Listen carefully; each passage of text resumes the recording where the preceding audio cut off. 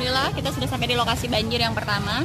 Ini kita sedang mau siapin uh, perahunya karena untuk akses ke dalam itu nggak bisa nggak bisa uh, jalan kaki itu udah sedada.